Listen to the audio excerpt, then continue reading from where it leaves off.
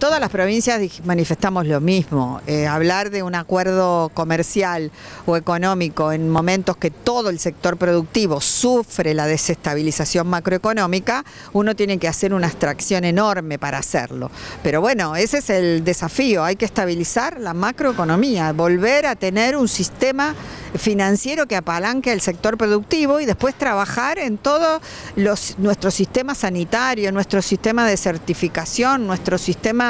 Em, de seguridad. Es una, una gran, gran tarea, pero todos manifestamos la preocupación por la inestabilidad macro que se extiende demasiado en el tiempo. Todos necesitamos la atención correspondiente eh, y fundamentalmente predisponernos con buena voluntad, con buena fe, a trabajar en un acuerdo que para mí es importante,